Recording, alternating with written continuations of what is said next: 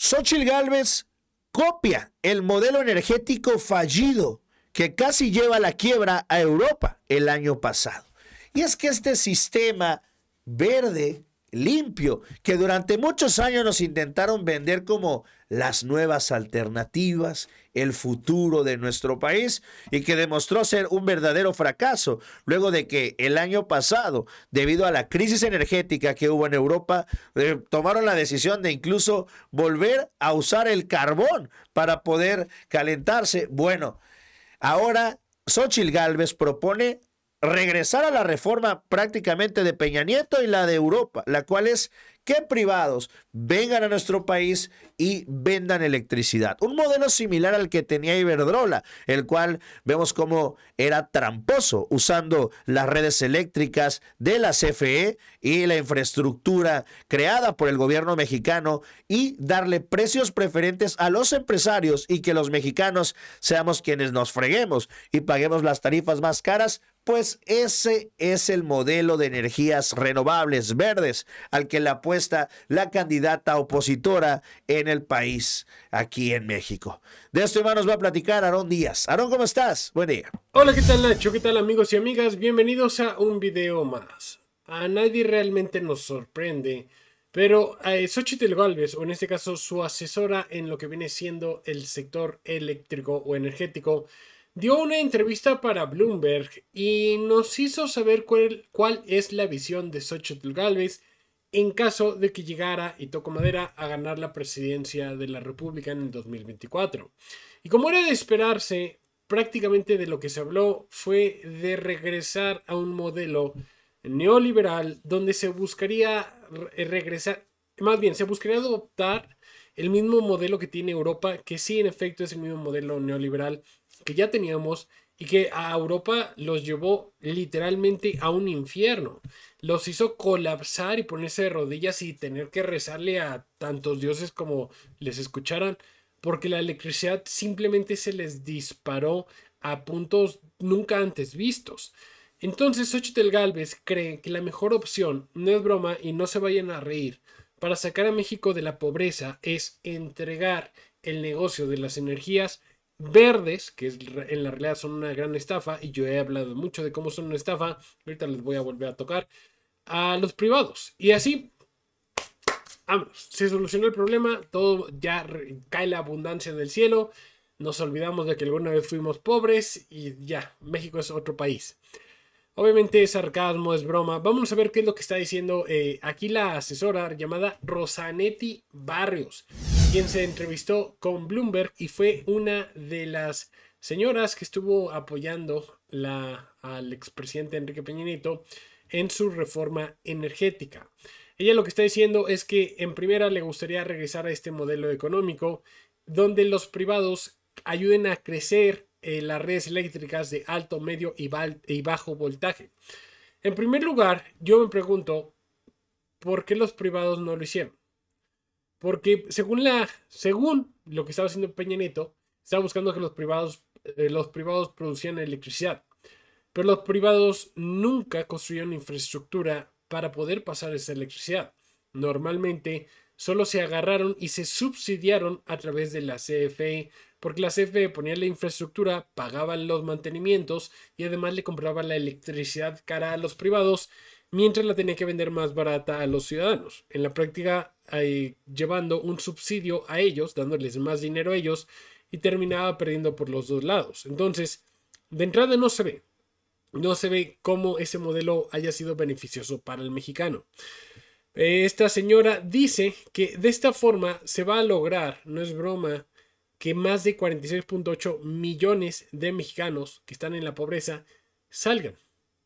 es que de verdad, es, no, no sé, es, es realmente torpe lo que está diciendo la señora Barrios. Dice la importancia de la energía verde, además de que las personas pueden pagarla. Si quieres, pregunten en España. Ahorita les voy a enseñar los precios de España, a ver si sí es cierto. Porque ya Iberdrola es la reina. Ella, Iberdrola es quien mantiene y quien es quien pone el precio de la electricidad. A ver si fue una caminata sobre el parque cuando se dispararon los precios.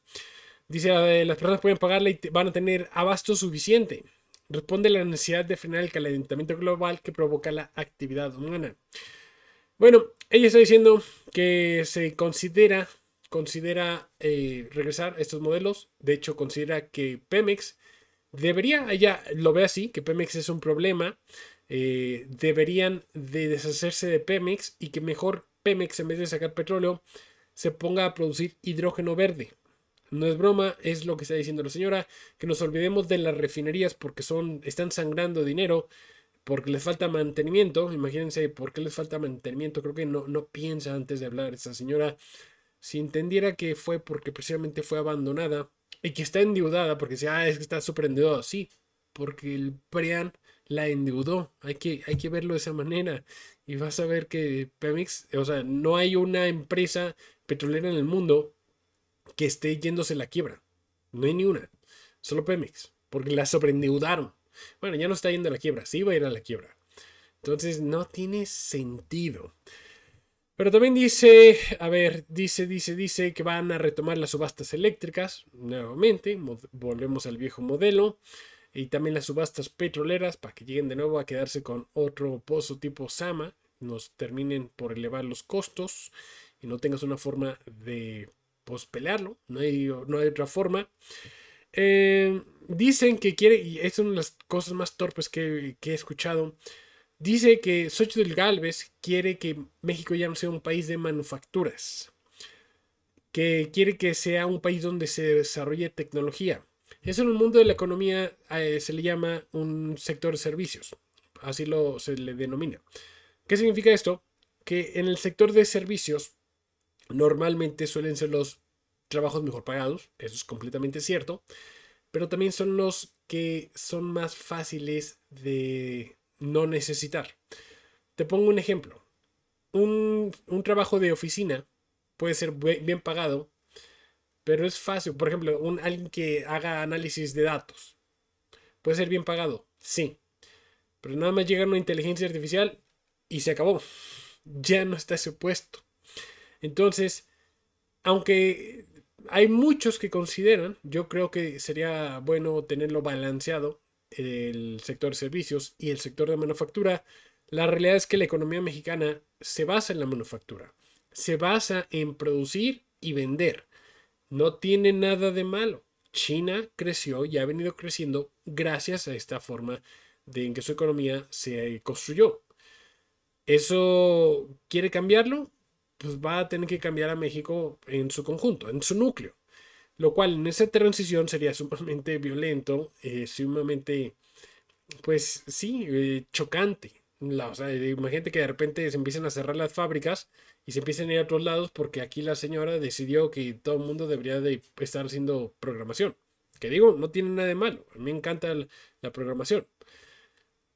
bueno, ¿Qué más? ¿Qué más? De, como les dije, ven a Pemex como el verdadero problema. Creen que las refinerías no sirven y mejor se debería apostar al hidrógeno verde. En el mundo de la física existe una ley, no, no, no les voy a decir cuál ley es, pero prácticamente te dice que cuando tú transformas una clase de energía en otra energía, vas a perder energía, nunca tienes el 100%. Por ejemplo, tienen los paneles solares, los cuales producen electricidad a través del sol pero producen generalmente un 20% a lo mucho de la energía que reciben de parte del Sol. Solamente un 20% es lo que logramos recuperar. ¿Cómo se le va a hacer para poder producir, para que Pemex iguale la producción de petróleo, que es ir literalmente extraer petróleo, que normalmente cuesta 5 dólares extraer cada barril y lo venden 75? ¿Cómo me dices que es lo mismo que ir a poner un buen de paneles solares que van a producir energía eléctrica de manera ineficiente para utilizar esta energía eléctrica ineficiente para producir hidrógeno del agua. Y el hidrógeno verde no eh, tiene tanta poder de batería eh, mecánica, como se le llama así, como la gasolina o el diésel. Y además tendrías que cambiar a todos los motores para que puedan funcionar con el hidrógeno verde, para que en vez de quemarlo, produzcan agua es que suena demasiado a un sueño utópico de Ricardo Anaya, sinceramente. Suena que ellos viven demasiado tiempo en el extranjero y ni siquiera Alemania lo está logrando. Vámonos a ver Europa. Vamos a compararlo, ¿no? Porque eso es prácticamente el modelo que quieren traer. El modelo europeo de la agenda verde, eh, así, de manera fanática. En México, solo para comparación, existen tres tipos de precio y depende de dónde estés. Ahorita me agarré de la tarifa de la zona 1. Me puse el más básico, te cuesta 1 un peso con 0,1 centavos los primeros 75 kilowatts por hora. Eso es una casa que no consume tanto. 1.01, eso equivale a 0.05 euros. Tómenlo en mente. Ahora, si eres una casa promedio, posiblemente vas a estar, uno, eh, vamos a ponerlo aquí, 1.24. Sería 0.06. Eso es lo que cuesta aquí en México para una clase media. Tiene una televisión y todo así medio tranquis. Ya si eres de los que tienen aire acondicionado, pues vas a estar pagando 3.63. Ese va a ser el costo más elevado, que viene siendo como 20 centavos de euro por kilowatt hora. Quiero que lo tengan en mente porque vamos a compararlo. En el primer caso, esto es Alemania. En Alemania, actualmente te cuesta 7 centavos el kilowatt, 7 centavos de euro el kilowatt hora. O sea, de entrada está más caro que en México. Y en estos momentos, el, eh, ¿por qué se ha caído tanto? Porque en Alemania, para lograr hacer bajar los precios, obligaron a las personas a tener controles en sus gastos eléctricos. Les ponen límites, por ejemplo, a no puedes tener tu el aire acondicionado a más de cierta temperatura, porque se te bloquea. Y te obligaron a que los termómetros se tengan que conectar al, internet para que desde el gobierno te los estén manejando. Entonces no puedes. De hecho, en muchos países hicieron ilegal que si tú llegabas a moverle al termostrato, te podías literalmente ir a la cárcel. Entonces sí, técnicamente tienen razón. Lograron bajar el precio de la electricidad al momento de obligar a las personas a morirse de calor o a morirse de frío. No, es broma. Eh, sus peores momentos bajo este modelo llegaron a tener el precio hasta los, híjole, serían 65 euros, ¿sí? 65 euros por eh, kilowatt hora. O sea, vienen siendo como 3, 4 veces más caro que la tarifa más cara de la CFE. Es insostenible, así, insostenible. Italia, Italia también sufrió de lo mismo, ahorita lo tienen en 8 centavos el kilowatt hora, más caro que en México. De nuevo, esto es energía verde, ¿eh? eso es lo que ellos eh, les encanta estar presumiendo, energía verde. Bueno, en su punto más alto estuvo en 53 eh, centavos de euro cada, cada kilowatt. Viene siendo aún así como dos veces, 2.5 veces más caro que en México, en la categoría más cara de México. O sea, en lo más caro de México, bueno, ellos tres veces más. Ese es el modelo que quiere Xochitl Gales. Francia. A Francia, uy, no, a ellos les fue todavía peor. Ahorita está en 7.9 centavos, sigue estando más caro que en México, el kilowatt hora y si nos vamos al punto más caro que han tenido, llegaron a estar a un euro. Un euro el kilowatt hora. Eso ya es. No, ya, ya estamos llegando a niveles brutales, donde no pueden ni siquiera tener un, un celular cargando y ya, y ya, porque si no nos llevas a la quiebra. En España, España eh, aquí España tiene una gran ventaja sobre los demás países europeos, y es que ellos reciben gas de Marruecos, entonces todavía pueden tener un poquito más de electricidad más barata. Ellos llegan su peor momento a tener la, electricidad a 31 centavos el, kilowatt hora. Ahorita está en 3 centavos, está bastante bien, lo podemos reconocer. Está ligerísimamente más barato que en México por 2 centavos, ligerísimamente. En Reino Unido, ojo, México nunca tuvo esto, ¿eh? estos picos nunca los tuvo México. Reino Unido en su peor momento llegó a estar a 50 centavos el kilowatt hora, ahorita está en 6 centavos el kilowatt hora, un poquito más arriba que en México, en, la cuestión más barata, eh, pero no están regresando ni siquiera a los niveles previos a la pandemia, siguen estando más caros. Así que pues bueno, estos modelos no han servido alrededor del mundo y está nuevamente Xochitl Galvez apostando para que regrese. Yo me pregunto ¿Qué va a hacer Iberdrola? ¿Volverá a comprar las 13 plantas al gobierno federal si llegara a Xochitl Galvez? ¿O se las regalaría como para pedirles perdón? No lo sé. Pero bueno, si les gustó el video, por favor, no se olviden dejar su like, un comentario, suscríbanse, nos ayudan mucho a crecer el canal. Los veo en un siguiente video, cuídense mucho.